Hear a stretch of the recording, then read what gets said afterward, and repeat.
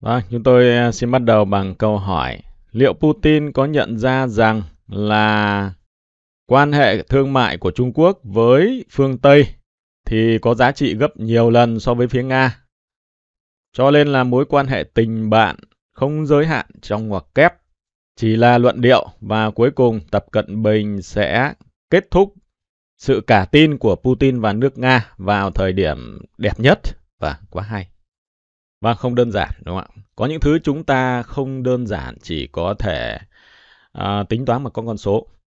Rõ ràng thì không cần phải đưa số bởi vì à, nếu tôi đưa số thì à, tất nhiên nó cũng mất thời gian và nó không giải quyết gì và tất nhiên quý vị biết rồi. Con số của Trung Quốc ừ, để mà nói mà thương mại với phương Tây thì bây giờ nó rất lớn, nó vẫn còn rất lớn, đúng không ạ? và khả năng thì nó sẽ còn lớn trong thời gian tới nữa. Thế tuy nhiên thì mình nhìn phải nhìn thấy cái xu hướng của doanh thu kim ngạch xuất nhập khẩu thương mại với Trung Quốc ấy, với lại phương Tây ấy thì nó có xu hướng nó giảm. Nó giảm và ở nó tăng ở đâu? Nó tăng thì nó tăng ở những cái khu vực uh, với Nga này, với uh, các nước Đông Nam Á này, các nước khu vực Trung Đông này, các khu vực châu Phi này và các khu vực Mỹ Latin. Có nghĩa rằng nó tăng ở phần lớn, nó có xu hướng tăng tuy nó chưa phải là tăng dã man để gây ra một ảnh hưởng nhưng mà nó lại có xu hướng tăng ờ, và cũng không phải là quá ờ, quá quá bèo. Tức là nó đạt đến mức bền vững. Tức là mức mức mà Trung Quốc sẽ ờ, có thể cân nhắc tới việc họ không còn phụ thuộc vào phương Tây nữa. Đấy.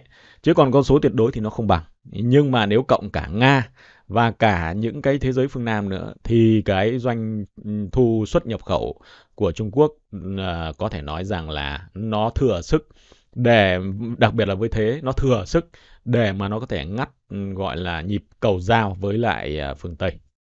Còn uh, Mỹ cũng vậy. Mỹ thì ừ, chỉ có có châu Âu thôi. Thì uh, cái cái quan hệ thương mại của châu Âu với Trung Quốc thì nó tăng giảm, nó mà là mang cái tính chất là nó, nó thời vụ còn của Mỹ ấy, với Trung Quốc thì cũng có xu hướng như thế này, mặc dù nó không dữ dội như là cái đường như thế này của Trung Quốc, nhưng mà nó như thế này. Đấy, cái câu chuyện chúng ta đều thấy rằng là hay mình có nói đúng hơn là gì? Là cái uh, quan hệ thương mại của Trung Quốc với Nga và bán cầu phương Nam nó càng ngày càng tăng. Quan hệ của Trung Quốc với Mỹ nó càng ngày nó càng giảm và tất nhiên là đối với phương Tây thì nó cũng kèm theo bởi vì Mỹ cũng trong phương Tây. Cho nên nếu mà mình chúng ta chỉ nói về cái số lượng tuyệt đối, ví dụ như chúng ta đang nói về cái thời điểm này đi. Đúng không ạ? Chúng đang ở trong cái thời điểm này thì có nghĩa rằng là cái doanh thu của Trung Quốc với lại thế giới phương Nam thì nó không bằng là với lại à, phương Tây. Thế nhưng mà theo cái đà như thế này thì chả mấy chốc. Đúng quý vị, chúng ta nhìn quan trọng nhất ấy ờ, là chúng ta nhìn cái thế cưới vợ cưới chồng cũng vậy mình đừng có cưới nó ở cái trạng thái tĩnh đúng không quý vị? Mình phải nhìn xem là nó đang đi về đâu cái đấy nó mới là cái quan trọng. Nếu như mà mình thích kiểu như thực dụng. Mình tưởng nó đi cái xe sang nhưng mà không khéo là cái xe sang đấy à, nó là cái xe hàng kiểu hàng bãi đấy mà mua rất là rẻ. Trông thì có đắt tiền nhưng mà đi được uh, mua 100 triệu sửa mất 3 tỷ. Bây giờ nhiều loại xe bán thế quý vị? Tiền xăng tiền xiếc thì đi 100 cây khi lên chục triệu đúng không? Hôm nọ tôi xem trên mạng nó bán rất nhiều xe ô tô mà chỉ có hơn trăm triệu đã có Land Rover, rồi Mercedes, BMW. Thì hóa ra là ôi rồi ôi, mấy em đấy em ấy uống xăng còn hơn cả mình uống bia hơi Hà Nội thời sinh viên. Cho nên không khéo đúng không ạ? GDP của Mỹ rất cao đấy một cái anh chàng đẹp trai hút máu thường xuyên trông lúc nào cũng kiểu như hồng hào. Thế nhưng mà thực tế là nợ ba mươi mấy nghìn tỷ rồi và không có cách nào để để thoát nợ mà chỉ có nợ mỗi ngày thôi. Vậy thì có nên cưới hay không? Đúng không quý vị? Cưới nó về không khéo mình phải đi làm đủ mọi chuyện để giả nợ cho nó đúng không quý vị? Và như vậy là chúng ta thấy đây là đây là một vấn đề. Đây là một vấn đề có nghĩa rằng tôi bắt đầu câu chuyện bằng việc là nó không đơn giản. À, câu chuyện gì nó cũng có ngữ cảnh và không lấy cái số tuyệt đối để mà ra được một cái sự phán xét. Bây giờ đến vấn đề thứ hai. Vấn đề thứ hai thì chúng ta biết rằng là uh, cách đây vài hôm khi mà Mỹ nói rằng là là là là ta cảnh báo Trung Quốc đúng không ạ? Nếu như mà còn tiếp tục mà làm ăn với Nga ấy, thì sẽ ăn đủ Thế và Trung Quốc thì uh, lúc đấy nó mới, mới bảo là nó chả nói gì cả, đúng không? Nó chỉ bảo là uh, Mỹ là tội A, tội B, tội C, tội D, tội 5, 6, 7, 8, 9, 10, các loại tội, chứ nó không nói gì cả. Và nó vẫn tiếp tục làm ăn với Nga. Vậy thì cái câu chuyện, cái thái độ như vậy chúng ta biết thừa, đúng không ạ? Rõ ràng là Trung Quốc đã không còn coi trọng những cái lời ve vãn rồi bây giờ đến cái lời mà đe dọa nữa.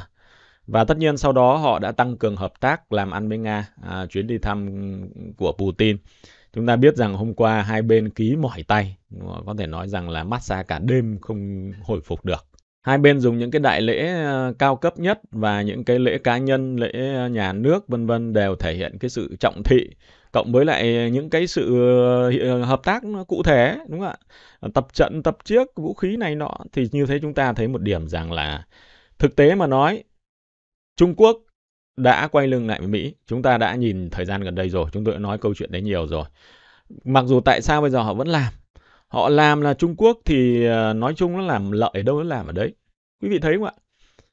Cái điều đấy nó không có nói rằng là một điều rằng là Trung Quốc không có khả năng để mà quay lưng lại với phương Tây. Nhưng mà bây giờ nó còn lợi thì nó vẫn còn làm. Đơn giản thế thôi và chúng ta cũng thế hay ai cũng nên như vậy. Đúng không ạ? Chứ không nên là vì cái lý tưởng và một cái sự cảm xúc để quay sang là ôi giờ bây giờ tôi thấy mày xấu thì ta không làm ăn với mày nữa. Đúng quý vị, bởi vì mình không làm ấy thì thằng khác nó cũng làm. Cho nên cái câu chuyện là nó vẫn làm. Đấy là một cái chuyện đương nhiên.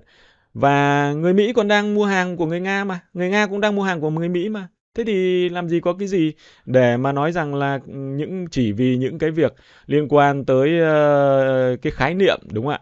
Cái cái cảm xúc rồi là cái hệ tư tưởng như vậy mà lại ngắt làm ăn. Huống chi đó là Trung Quốc. Trung Quốc thì đấy họ là rất là thực dụng. Hay mình nói đúng hơn là cứ gửi thấy hợp đồng ở đâu thì sẽ có mặt của Trung Quốc ở đó. Và rồi, hôm qua thì ờ, Trung hôm hôm hôm tuần trước thì Trung Quốc ăn một đống cấm vận vào đầu vì vụ đó.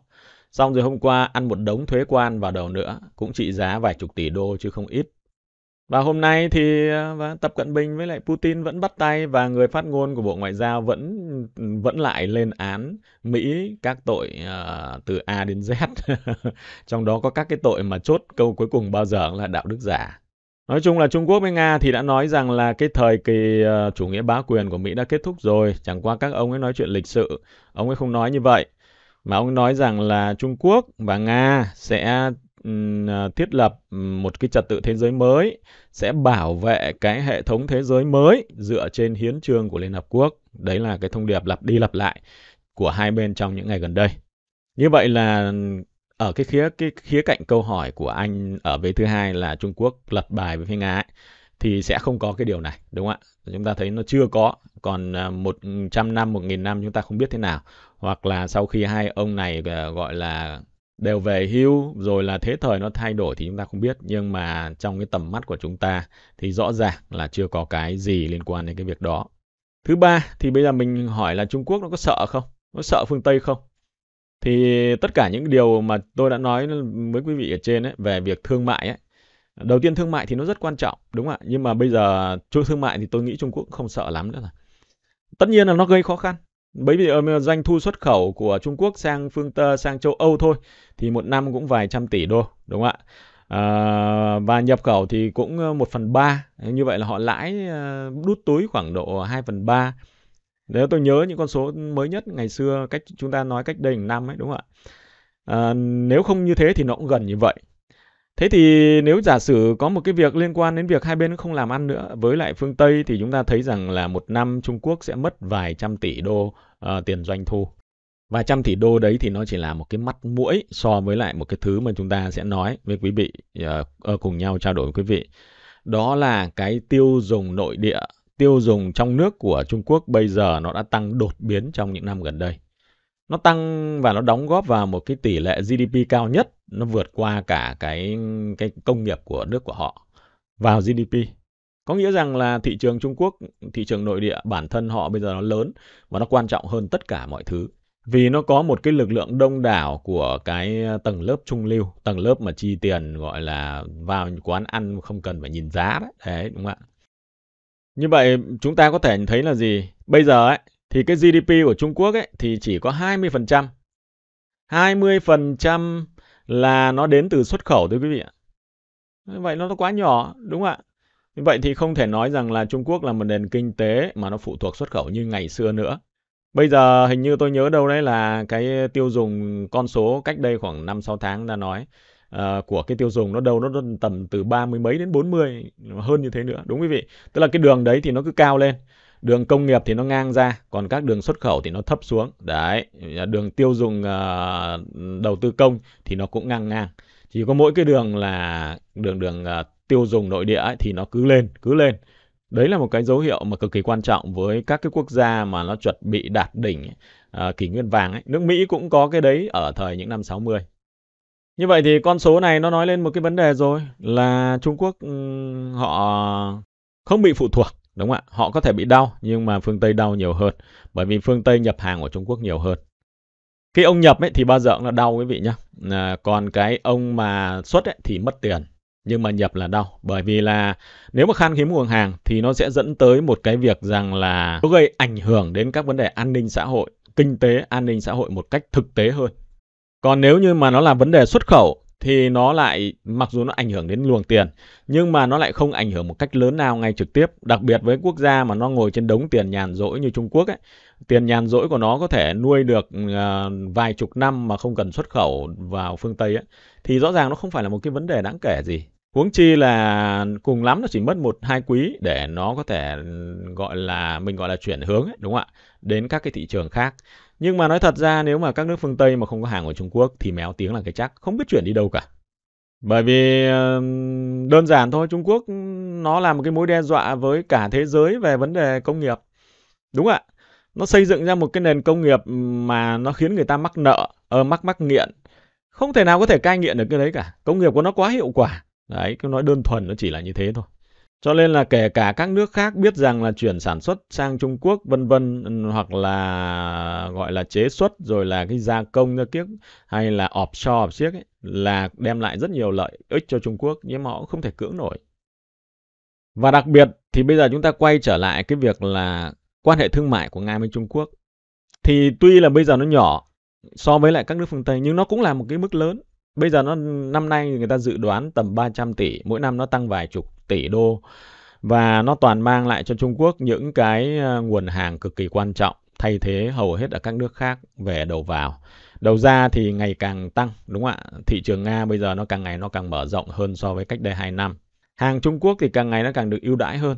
Thế thì có thể nói một điều rằng là mặc dù cái tỷ trọng của Trung Quốc ở Nga ấy, thì nó còn thấp, thế nhưng mà cái câu chuyện rằng nó lại rất là quan trọng và nó rất là được đặc quyền các khoản mua của Trung Quốc từ Nga nó cũng đặc quyền mà các khoản bán nó cũng được đặc quyền. Chưa kể những hoạt động của Trung Quốc ở Nga nó cũng được đặc quyền nữa. Cho nên là cái mối quan hệ đấy với Nga ấy có thể nói rằng Trung Quốc nhận được rất nhiều điều. À, hai bên họ nói rằng là quan hệ làm ăn không giới hạn, tình bạn không giới hạn. Đúng không? Đấy là một cái tất cả những điều tôi vừa nói thì thể hiện một điều rằng nó hướng tới cái chữ đấy thật sự, ít nhất là cái thời điểm hiện tại. Có nghĩa rằng ấy, Trung Quốc là một cái nền kinh tế mà nó khao khát nguồn nhiên nguyên vật liệu hơn bất cứ một cái gì khác.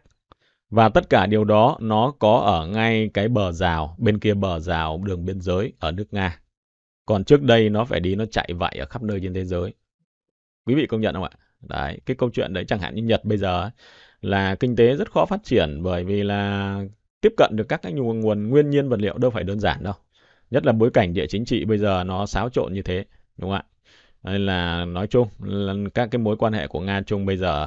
Thì về phân tích là như vậy, còn quý vị nhìn vào những cái hình ảnh của của của những cái buổi mà đón tiếp, rồi là những cái lễ tiết gần đây, hai bên đồng điệu trong việc này việc kia, thì rõ ràng là sẽ không có một cái đe dọa nào trong tương lai gần. Nói rằng là tập cận bình sẽ trở mặt với putin để kết thúc kết liễu cái ờ, cái gì? Cái đại khái là cái sự ờ, cả tin của Putin và nước Nga ít nhất là trong tương lai gần. Còn về chiến lược mà nói ấy, thì không có sự trỗi dậy của nước Nga trong thời điểm này thì Trung Quốc không dám quậy. Nói thẳng là như vậy ờ, mà Trung Quốc thì nuôi nuôi mộng bá chủ mà họ dựa hơi vào nước Nga rất nhiều. Đúng quý vị? Nước Nga thì cũng dựa vào Trung Quốc nhưng mà thực ra Nga thì cũng không nuôi mộng bá chủ như Trung Quốc. Ờ, và không chỉ mộng bá chủ mà nói thật ra ấy, thì cái an ninh của Trung Quốc nếu mà thiếu Nga chưa không phải là chưa chắc tôi khẳng định ngay an ninh của Trung Quốc sẽ bị gọi là đặt vào trạng thái nguy hiểm nếu không có Nga ở sườn phía trên này không chỉ là Nga bảo vệ sườn cho Trung Quốc mà Nga còn là con ngáo ộp để có thể gọi là đứng ở khu vực biển uh, Đại Thái Bình Dương uh, để mà có thể khống chế và đại khái như tiếp ứng cho Trung Quốc nhiều vấn đề nữa. Cho nên Trung Quốc bây giờ mới dám manh động như vậy. Đúng ạ. Thế thì chả có lẽ gì mà tự nhiên Trung Quốc họ lại đi họ họ chơi cái người bạn của họ để cuối cùng là xung quanh toàn kẻ thù. chúng ta phải để ý một cái vấn đề là bây giờ ấy, kẻ thù của thế giới phương Tây nó là Trung Quốc nó là Trung Quốc còn Nga ấy, thì nó chính là cái người bảo vệ đúng không ạ nếu mà mình đặt vào ấy khía cạnh ấy, Nga là cái bên mà nó mạnh là mạnh về quân sự còn Nga là chính là người bảo vệ, nhưng mà cái bảo vệ, cái yếu nhân của nó thì nó làm Trung Quốc này. Vì Trung Quốc thì mới đe gây ra cái mối đe dọa kinh tế. Mà kinh tế thì nó mới quan trọng, đúng không ạ? Thế còn cái quân sự thì nó chỉ là cái vấn đề để giải quyết, để cuối cùng là xử lý kinh tế mà thôi. Và tất nhiên là Trung Quốc biết một điều rằng là nếu mà không có Nga thì bán cầu phương Nam Trung Quốc cũng không thể là thao túng được đúng không ạ? Và tất nhiên là nếu không có nga thì ờ, nato chắc chắn tràn đến cửa ngõ trung quốc từ nhiều phía là cái chắc. Mà không chỉ như thế mà không có nga thì kể cả ấn độ ấy, có khả năng cũng sẽ quay lưng với trung quốc. Rồi các nước Trung Á đúng ạ? Rồi đặc biệt là cái Mông Cổ này đấy. Đấy bây giờ Mông Cổ thì họ cóng vì họ nằm kẹp giữa Nga với Trung Quốc. Chứ thực ra mà nói mà kỳ Mông Cổ nó rất dễ bị lung lạc.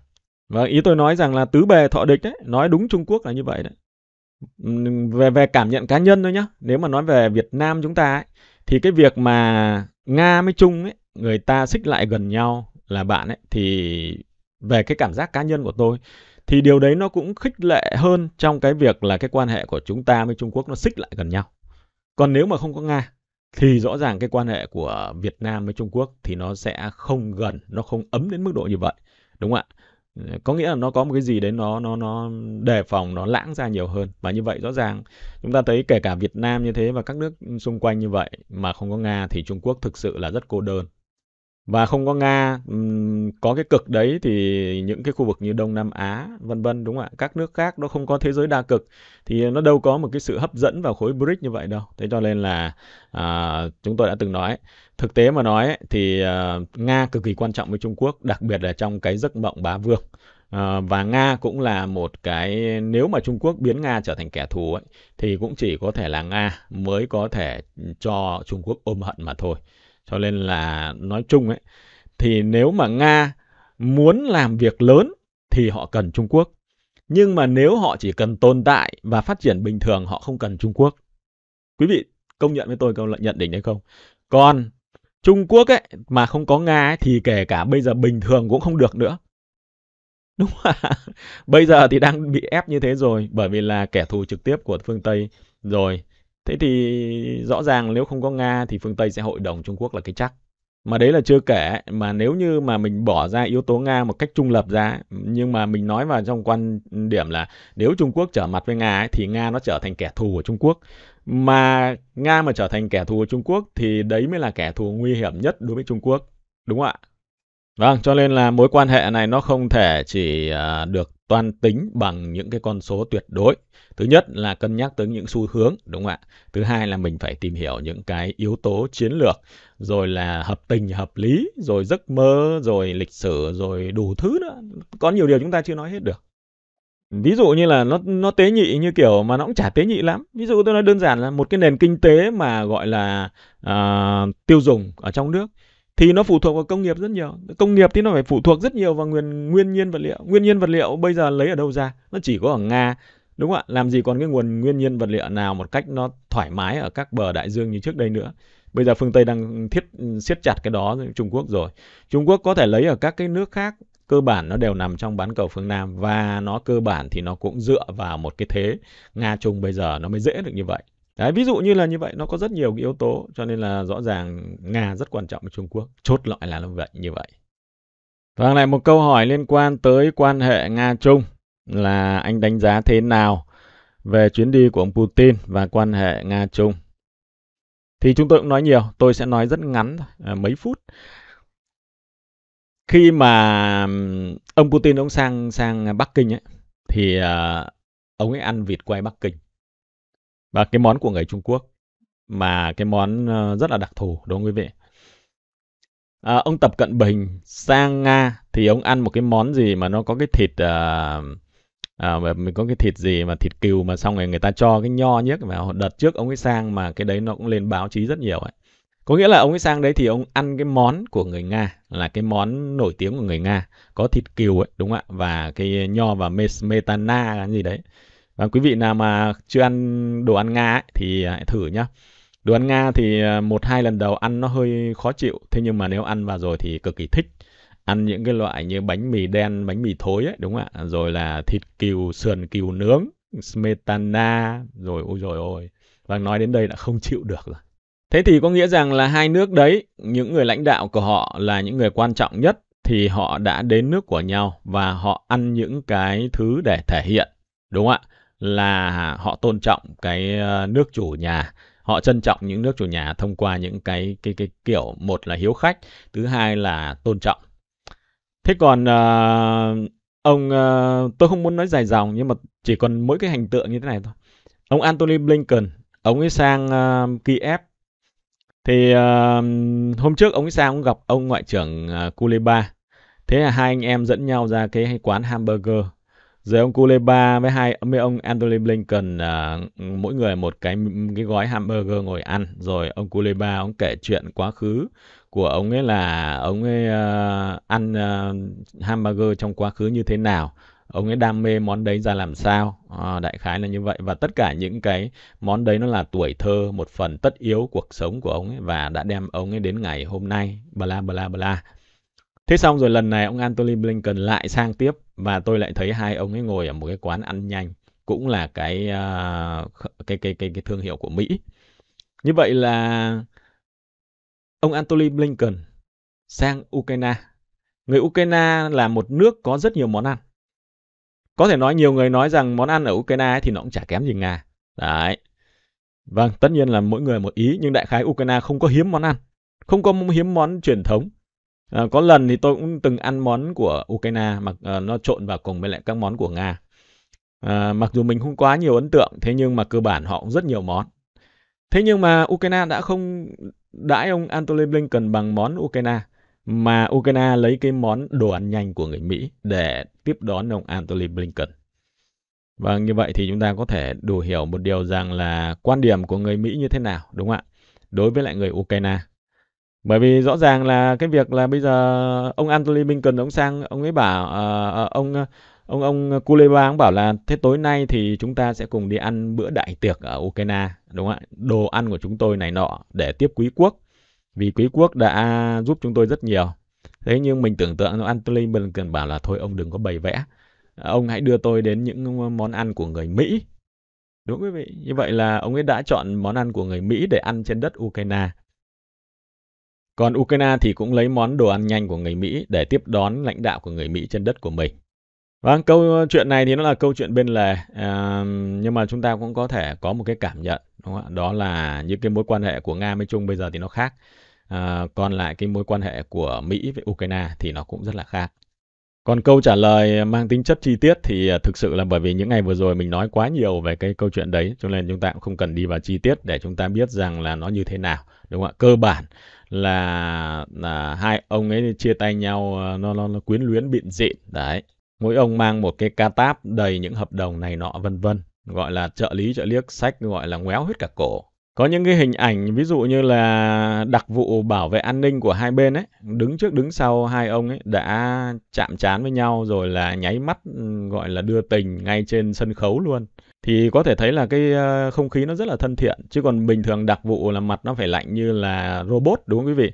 Thế nhưng mà lại nháy nhiếc rồi ngoắc nghiếc. Ông Putin uh, sau khi mà họp kín, họp hở xong thì uh, tối hôm qua thì đã gala tiệc uh, quốc tiệc đấy, quốc yến đấy. Thế xong rồi sáng hôm nay thì hai ông ấy lại xuất hiện uh, trong một cái vẻ rất là nghiêm trang, nghiêm túc ở trong cái khu uh, Trung Nam Hải uh, để bàn cái việc đại sự gì đấy mà trông cũng rất là hầm hố. Xong hôm nay thì ông Putin sẽ lên đường lên Hắc Long Giang, cũng là cái một cái sự kiện quan trọng nào kỷ niệm này nọ. Truyền thông phương Tây thì nói rằng là là Putin sang đấy sẽ gặp phải một cái thử thách về gọi là mối quan hệ giữa hai bên, đúng không ạ? Nhưng mà chúng ta có thể thấy rằng là trong chuyến đi của ông Putin đến thì trước chuyến đi người Mỹ đã dọa Trung Quốc và bị Trung Quốc chửi. Trong chuyến đi người Mỹ đã ra lệnh áp thuế quan và cũng bị uh, gọi là đại sứ uh, uh, ngoại giao đúng không ạ? Bộ Ngoại giao Trung Quốc chửi. Thế vậy thì tất nhiên là người Trung Quốc cũng không rảnh để ngồi chửi người Mỹ. Nhưng mà bởi vì ông Putin ông đang ở Trung Quốc cho nên là người Trung Quốc chửi như vậy. Có nghĩa là một hành động là có thể nói là ờ, chửi phụ họa đúng không ạ? Để mà rồi cổ vũ cho chuyến đi của ông Putin. Tôi nghĩ đơn giản như vậy thôi, chứ còn người ta cũng chả mất thời gian để người ta chửi bới làm gì. Cho nên tôi thấy rằng là một chuyến đi ờ, đến thời điểm này thì nó đã kết thúc cái phần quan trọng nhất thì nó rất là thành công về tất cả những cái khía cạnh, kể cả thân thái, sức khỏe, rồi lễ tiết, rồi ký cá, rồi những tuyên bố này tuyên bố kia. Đấy, cơ bản đến bây giờ là nó rất thành công. Nhiều nguồn tin cho biết là Nga đã bắt vài chục nghìn người tù nhân chính trị phản đối cuộc chiến ở Ukraine. Và thứ nhất là về sự thật thì tôi được biết ấy, tôi được biết là trong năm 2023 thì ờ, Nga có bắt giữ ờ, khoảng 200 người 200 người nhưng mà trong đó thì có cả những cái việc không liên quan đến chiến tranh, có nghĩa là nó là những cái việc bất đồng chính kiến mà hàng năm họ bắt thôi. Để chúng ta thấy rằng là ở nước Anh thì mỗi năm họ bắt 4.000, 5.000 người. Thì ờ, ở nước Nga như vậy là quá ít, đúng không ạ? Mà mặc dù nước Anh là nước dân chủ, à, dân chủ thuần khiết, đúng không ạ? Còn nước Nga thì nó không dân chủ thuần khiết, nó là độc tài như là phương Tây nói. À, còn về chiến tranh thì à, đến thời điểm này theo như là Bộ Nội vụ Nga thì họ nói rằng là tổng cộng họ mới bắt tổng cộng là khoảng trên dưới 10 người liên quan tới việc cuộc chiến cuộc, phản đối chiến cuộc, trong đó có việc à, tung ra những thông tin đồn nhảm liên quan đến cuộc chiến. Đồn nhảm. Thứ hai nữa là bôi xấu quân đội Nga. Thì cái đấy là tất cả những người đấy trước là chúng ta đều đã đọc qua. Nhưng mà bởi vì nó là cái chuyện nhỏ cho nên mình không có nói đi nói lại làm gì. Vâng, cũng là trong cái khoảng năm 2023 đấy, vào cái thời điểm nó mấy tháng mà dồn dập ấy. Thế thì uh, tất nhiên nó không đáng để nó có thể đủ để mà nói đến là vài chục nghìn người, đúng không quý vị? Uh, và nước Nga chắc là họ cũng không có tốn quá nhiều tiền để họ nuôi vài chục nghìn người để trong tù ờ, chỉ vì mỗi cái việc là phản đối chiến tranh. Kể cả đám tang của ông Navalny, rất nhiều người phản đối chiến tranh ở đó. Họ đưa những khẩu hiệu, nói này nọ vân vân. Nhưng mà có ai bị bắt biết ở đấy đâu. Không mất biết gì cả. Nhưng mà nếu mà chúng ta nghe theo nguồn tin phương Tây, đúng không ạ, thì ờ, rõ ràng là bây giờ những người đó đang bị tra tấn tù đầy ở Bắc Cực, rồi là thậm chí bị ờ, mổ nội tạng, rồi ờ, này nọ vân vân. À, và cái việc đấy thì tôi cũng không thấy làm lạ. Biết hôm nay tôi sốc như thế nào? Tờ báo Newsweek tờ báo nổi tiếng của phương Tây, đúng không ạ? Thế mà hôm nay nó chính thức nó ra một cái bài rằng là Nga lại bắn vào, lại đánh bom vào vùng Belgorod để giết hại người dân, mấy chục người dân. Tức là cái vụ cách đây một tuần mà mười mấy người thiệt mạng do pháo ờ, mới lại tên lửa Ukraine đấy. Chưa bao giờ, chưa bao giờ báo nước ngoài thì họ nói thẳng ra mà họ sẽ nói mập mờ. Đấy, họ nói là ví dụ như là Ukraine cho rằng là Nga làm thế này cái kia cái kia, cùng lắm nó chỉ đến thế thôi. Nhưng hôm nay tờ báo đấy nói thẳng luôn, nó luôn nói luôn là Nga lại tấn công vào chính người dân của mình ở vùng Belgorod. Uh, thì tôi bỏ qua những cái yếu tố để mà mình có thể mình công tâm ấy, thì mình không mình mình mình một cách khách quan mình nhìn mình không bị có thành kiến nữa. Thì tôi thử đặt mình vào cái việc là người Nga làm cái vùng ở Belgorod như vậy thì nó có giải quyết được cái gì không? Bởi vì bây giờ họ đã tiến công vào Kharkov rồi. Đúng quý vị. Và rõ ràng đấy là một chiến dịch tạo vùng bệ đệm và cái việc mà họ ừ, về mặt đến chính đề chính trị là họ đã giải quyết rồi. Và bây giờ thực sự họ tấn công vào rồi. Thế thì họ cần gì phải họ làm một cái việc như vậy nữa mà cái việc lúc bấy giờ quân họ đã vào khắc cốt rồi. Và vào giờ đánh ừ, Ukraine đã chạy xuống bên dưới rồi cho nên là Ukraine mới tấn công ngược vào Belgorod. Và việc đấy chúng ta cũng biết là dẫn tới những cái việc gì đúng không ạ? Tôi không tìm được lý do nào để tôi uh, có thể là đứng về phía phương Tây, tôi bào chữa rằng là Nga tấn công vào vùng Belgorod để mà đạt được một điều gì đấy. Ít nhất là từ một khía cạnh của phương Tây. Vì mọi lần nó còn có một cái mục đích, đúng không ạ? Thế nhưng mà lần này thì mình không thấy là Nga có một cái mục đích nào nó đáng kể để mà người ta phải làm cái việc đấy. Rồi à, những cái vụ như là khủng bố thì phương Tây người ta cũng cho rằng là người Nga tự tiến hành khủng bố người dân của mình và gọi là tự đốt nhà, đốt cửa, đánh bom nhà cửa của mình. Qua điều này chúng ta có thể thấy một điểm rằng ấy là cái người dân ở phương Tây ấy, một bộ phận lớn đúng không? người ta bị tẩy não một cách nghiêm trọng. Đến ngày hôm nay người ta vẫn vẫn vẫn quay những cái đưa lên những bức ảnh là tình trạng ở nước Nga nó thế này thế kia, đường xá cầu cống dù nó rất là thê thảm.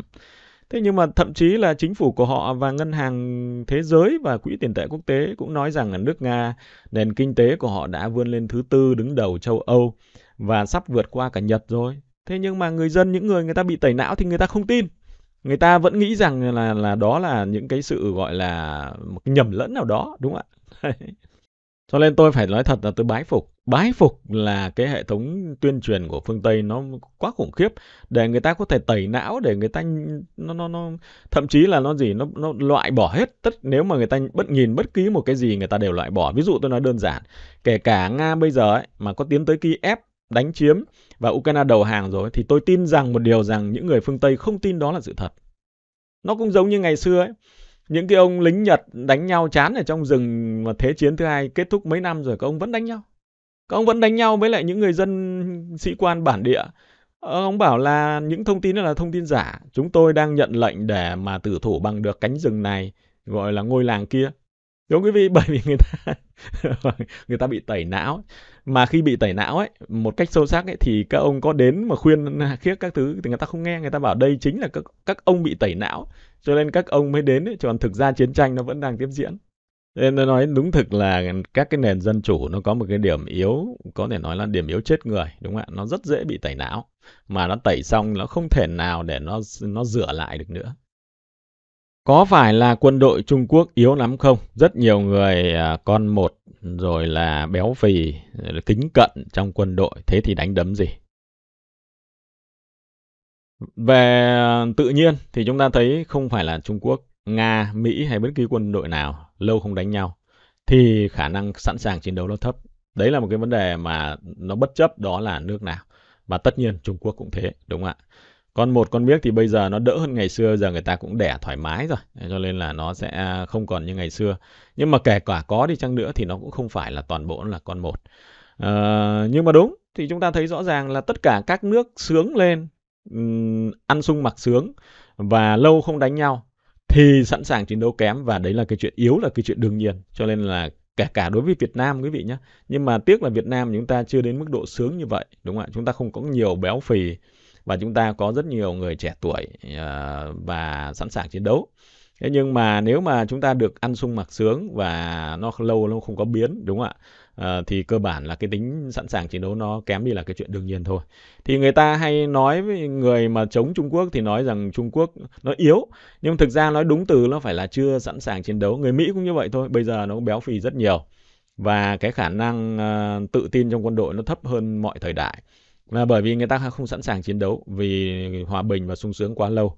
Cộng với lại những cái vấn đề liên quan đến xã hội, đúng không ạ? LGBT này nọ, vân vân, diễn cho quân đội cơ bản là nó yếu đi. Thế nhưng mà cứ có đánh nhau thì tôi nghĩ rằng là nó sẽ ừ, thiện chiến hơn thôi. Người nga cũng vậy. Bây giờ tại sao người ta không nói là quân đội nga mạnh nhất thế giới? Mà cái người đúng từ chuyên gia người ta nói rằng quân đội nga là quân đội sẵn sàng chiến đấu nhất thế giới và khả năng quân đội thứ hai là quân đội ukraine là bởi vì họ đánh nhau cả hai năm rồi đúng không ạ? Đấy và tất nhiên là nếu kết hợp với những cái khả năng uh, gen cha ông để lại từ lịch sử hào hùng này nọ thì tất nhiên là người ta sẽ hơn những cái quân đội khác. Nhưng mà câu chuyện cũng là do cọ sát thôi. Cho nên là mình nếu mình nói Trung Quốc là yếu thì nó không đúng nhưng mà nếu nói là sẵn sàng chiến đấu của nó kém thì là đúng. Nhưng mà Trung Quốc thì là một nước mà họ tập trận rất nhiều. Ừm, chỉ riêng video mang tính chất là kiểu như là là là tuyên truyền ấy thì nó cực kỳ nhiều đúng không ạ? Cực kỳ nhiều liên quan đó cho nên là cũng không thể nói rằng quân đội của họ là chỉ có gọi là béo phì mấy này nọ vân vân. Chắc chắn là họ tập luyện rồi trông nó gân guốc rồi trông ghê gớm lắm. Có thể nói nếu mà trên video ấy thì Trung Quốc nhiều nhất video tập trận và trông quân đội của hổ báo nhất thế giới luôn. Tức là trong những cái hoạt động tập trận ấy thì nó rất là dọa dẫm, dọa người. Nga không bằng, Mỹ không bằng, không ở đâu bằng cả. Không tin quý vị cứ lên xem các cái loại video tập trận của Trung Quốc ấy. Thứ hai nữa thì chúng ta có thể thấy một điểm rằng bây giờ đánh nhau thì đánh nhau như thế nào, đúng không ạ? À, hôm trước thì tôi quay một cái video của Trung Quốc đánh nhau ấy mà nó đánh nhau thuần túy bằng UAV luôn. Có nghĩa rằng ấy là cả một uh, chục nghìn cái cái UAV nó nằm dưới mặt đất. Nó bằng một cái thao tác bấm chuột nó bắt đầu nó bay lên bầu trời nó bay nó dàn trận địa dàn đội hình rồi nó tấn công đồng loạt theo cụm tấn công lẻ nó bay với tốc độ không thể nhìn thấy Có nghĩa rằng là cái công nghệ điều khiển UAV của Trung Quốc ấy, thì tôi không biết nước khác như thế nào.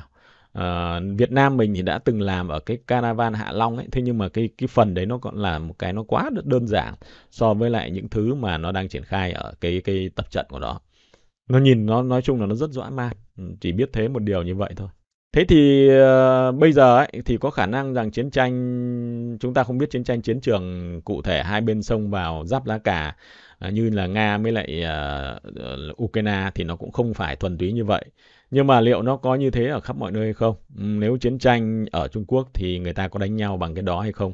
Hay là nó toàn là UAV đúng không ạ? Rồi là toàn những cái mang tính chất là công nghệ, uh, rồi là AI, AX vân vân thì uh, nếu có như thế thì có khả năng là cái vai trò của cái việc mà phải có những cái người lính trông nó bậm trợn cáo cạnh thì nó cũng không còn quá đóng một cái vai trò nó then chốt như là đánh nhau ngày xưa nữa thì tôi có thể đến đến một cái kết luận rằng là về mặt uh, sẵn sàng chiến đấu của quân đội. Thì nói chung Trung Quốc giống như các nước khác đều là chưa sẵn sàng chiến đấu bởi đơn giản bởi họ không đánh nhau thôi đúng không ạ? Nhưng mà họ là tập trận rất nhiều Đài Loan Đài Liếc Tân Cương Tân Kiếc vân vân tập trận ra giả suốt ngày. Tập trận với Nga tập trận với các nước Trung Á nhiều lắm. Về vấn đề công nghệ chẳng hạn như UAV thì tôi thấy rằng là Trung Quốc rất sẵn sàng chiến đấu. Cái đấy là cái mình phải nói khách quan. Hải quân họ cũng tập trận suốt ngày các cái liên quan đến công nghệ đúng không ạ? Tập trận rất nhiều và nói chung là họ có nhiều tiền cho nên họ tập trận được. Còn cái thứ ba thì uh, rõ ràng chúng ta cũng không biết được rằng là bây giờ cái cái vấn đề sẵn sàng về cơ bắp của binh lính thì nó còn đóng một cái vai trò quan trọng ở trên chiến trường nữa hay không? Hay là chiến tranh trong tương lai thì người ta sẵn sàng với cái công nghệ nó có thể quyết định được cái trận đấu? Hay nói đúng hơn mình đi tới một cái kết luận rằng là về cái sẵn sàng chiến đấu của con người thì chúng ta thấy là quân đội Trung Quốc như các quân đội khác là nó không đánh nhau thì nó không có sẵn sàng. Thế còn cái tính sẵn sàng chiến đấu của cả quân đội thì tôi không nghĩ rằng họ ở một cái mức độ thấp so với lại cái mặt bằng chung của các nước không có giao chiến. Mà nếu nói đúng hơn là nó ở mức cao bởi vì bây giờ kể cả không đánh nhau thì Trung Quốc tập trận rất nhiều ở biên giới với lại à, Đài Loan, với à, Nhật Bản, Hàn Quốc đúng không ạ? Và ở trên bộ các cái vùng liên quan tới Trung Á, Tân Cương, ờ, Ấn Độ. Có nghĩa là bản thân Trung Quốc ấy thì cơ bản là nó cũng đang tuy nó không đánh nhau nhưng mà nó lại có một cái sự sức ép đối với lại nó từ tứ phía từ Trung Quốc ờ, từ Ấn Độ đúng không ạ. Đấy rồi các cái vùng nước Trung Á nơi có Afghanistan, Tajikistan cũng rất nhiều cái rủi ro. À, rồi là ở trên biển thì có Hàn Quốc, Nhật Bản, Đài Loan và có Mỹ ép suốt ngày thì tất nhiên, và Miến Điện bây giờ cửa ngõ cũng đang đánh nhau, đang lộn, náo loạn hết cả lên, đúng không ạ? Thì cho nên là tất nhiên là Trung Quốc nó không thể ngồi im được rồi. Nó chỉ có mỗi một cái điều mà chúng ta biết là nó chưa đánh nhau thật. Nó không đánh nhau thật, cho nên chúng ta không biết như thế nào. Nhưng mà nếu đánh nhau thật ấy, chỉ cần thua vài trận ấy, thì người ta sẽ ngộ ra nhiều điều ngay. Trung Quốc nó cũng là một cái nước đánh nhau cả nghìn đời nay rồi cho nên là cái việc đánh nhau thì à, nó có thể bỡ ngỡ đúng không ạ chứ còn nó nhớ lại cái kịch bản đánh nhau tam quốc rồi tứ quốc ngày xưa thất hùng thất hiếc ấy, thì nó đầy ra có thể nói là Trung Quốc là cái đất nước có đánh nhau nhiều nhất và bây giờ đánh nhau trên phim ảnh của nó cũng nhiều nhất thế giới luôn. Rồi chuyện trưởng nó nhiều nhất, chuyện giã sử nhiều nhất, lịch sử đánh nhau nó cũng nhiều nhất. Rồi là cái gì? À, binh pháp nó cũng nhiều nhất, nó cũng toàn từ Trung Quốc mà ra. Cho nên nói đúng ấy, nếu nói đúng một cái từ ấy thì mình phải nói như thế này là nếu mà nói tất cả những khía cạnh đấy để mà mình gói lại ấy, thì nếu một cái nước mà chưa có đánh nhau chưa có đánh nhau nóng ấy thì tôi nghĩ rằng Trung Quốc lại là nước mà sẵn sàng chiến đấu cao nhất. Mà nếu mà mình nói xét luôn cả những khía cạnh năng lực đóng tàu, năng lực uh, sản xuất vũ khí, quốc phòng, đúng không ạ, uh, công nghiệp, đạn dược, à, uh, UAV của Trung Quốc vào nữa thì đúng chúng ta có thể nói rằng là tất nhiên nó không phải là quốc gia đang giao chiến, nhưng mà nếu mà nói quốc gia chưa giao chiến thì Trung Quốc là mức độ sẵn sàng rất cao. Nếu mà để mà đưa ra một cái nhận định là để giả sử trong một cái kịch bản đánh nhau ấy thì uh, với cái điều kiện như Trung Quốc như này, nếu đánh nhau mà là tấn công thì Trung Quốc ngay bây giờ sẽ là kém. Nhưng nếu phòng thủ thì sẽ là tốt. Đấy, tấn công thì kém, phòng thủ thì tốt. Cảm ơn quý vị đã dành thời gian theo dõi chương trình. Hẹn gặp lại quý vị trong những chương trình tiếp theo và chúc quý vị một đêm cuối tuần vui vẻ, mạnh khỏe, ngon giấc.